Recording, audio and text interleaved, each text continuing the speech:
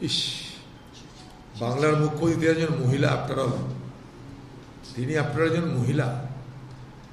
জানি না বাংলার নারী সমাজ তার এই কথাকে কীভাবে ব্যাখ্যা করবে, আমার খারাপ লাগছে। হাঁসখালির ঘটনা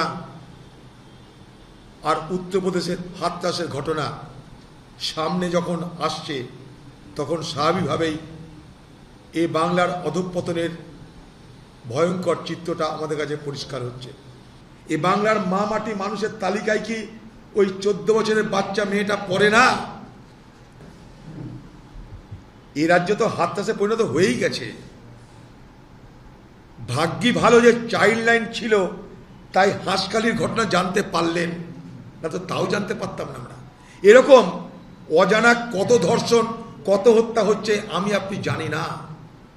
বাংলার মুখ্যমন্ত্রী আজকে আপনি ধর্ষণকারীদের উকিল হয়েছেন কেন? ধর্ষণকারীদের ওকালতি করছেন কেন? খুনিদের ওকালতি করছেন কেন? এইগুলোই প্রশ্ন আপনার কাছে আমাদের। যখন ভারতবর্ষের গৃহমন্ত্রী অমিত শাহ, সে ফতোয়া জারি করছে সারা ভারতবর্ষের, হিন্দি ভাষা সবাইকে অধ্যয়ন করতে হবে, বলার ব্যবস্থা করতে হবে, শিখতে হবে, পড়তে হবে। হিন্দিকে আমরাও ভালোবাসি, হিন্দিতে কথা বলতে আমরাও ভালোবাসি। কিন্তু তার মানে এটা নয় যে আমাদের উপরে হিন্দি ভাষাকেও চাপিয়ে দেবে আর আমাদেরকে তা মেনে নিতে হবে, ব্যাপারটা তা হতে পারে না বলে আমরা মনে করি। ভাষার চাপিয়ে দেওয়ার মধ্য দিয়ে ভারতবর্ষের যুক্তরাষ্ট্রীয় ব্যবস্থাটাকে ভেঙে দেওয়ার চেষ্টা করছে আজকের বিজেপি। বিজেপি পার্টির রাজনৈতিক এজেন্ডা হিন্দি, হিন্দু, হিন্দুত্ব।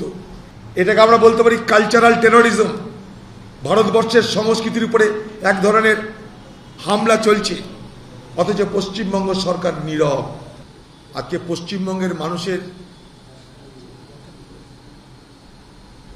পুলিশের কাছে থানায় গিয়ে অভিযোগ করার হিম্মত পর্যন্ত হারিয়ে ফেলছে। হাঁসখালির ঘটনা ঘটে যাওয়ার পর বাড়ির লোক থানায় যেতে পারেনি তার কারণ তাদেরকে ভয় দেখানো হয়েছে। যে ঘটনা জানাজানি হলে পুড়িয়ে মেরে দেওয়া হবে। ভালো লাগতো যদি বাংলার মুখ্যমন্ত্রী একবার এ ঘটনার নিন্দা করতেন, ভালো লাগতো। তাও আমরা দেখতে পেলাম না। পশ্চিমবঙ্গ সরকারের বিভিন্ন বিষয়ে উদাসীনতা নানা প্রশ্ন তৈরি করছে আমার মধ্যে। ঘটনাটা খারাপ কিন্তু ছেলেটার সঙ্গে অ্যাফেয়ার ছিল। এটা ধর্ষণ না অন্তঃসত্ত্বা হয়েছিল নাকি অসুখ করে মারা গেছে? হাঁসখালিতে গণধর্ষণের পর খুনের অভিযোগের সত্যতা নিয়ে প্রশ্ন। মুখ্যমন্ত্রীর কি বলেছেন? শোনাবো।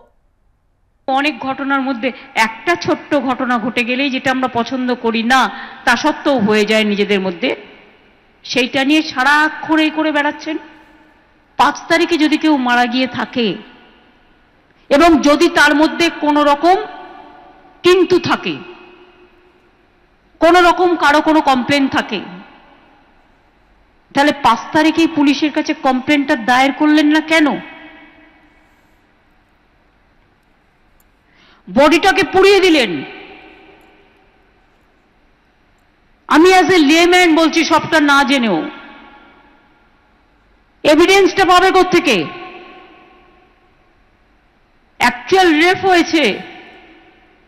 না প্রেগনেন্ট ছিল। বা অন্য কোনো কারণ হয়েছে। নাকি কেউ ধরে দুটো চড় মেরেছে। শরীরটা খারাপ হয়েছে। লাভ অ্যাফেয়ার্স তো ছিলই। বাড়ির লোকেরাও সেটা জানতো। পাড়ার লোকেরাও জানতো। এখন যদি কোনো ছেলে মেয়ে কেউ কারোর সাথে প্রেম করে, সেটা আমার আটকানো আমার পক্ষে সম্ভব নয়। এটা ইউপি নয় যে লাভ জিয়াদ নিয়ে আমি প্রোগ্রাম শুরু করব। যদি কেউ অন্যায় করে, অন্যায়ের বিরুদ্ধে অ্যাকশন হবে। অ্যাকশন হয়েছে? অ্যারেস্ট করা হয়েছে? এবং অ্যারেস্ট করতে গিয়ে কোনো কালার দেখা হচ্ছে না।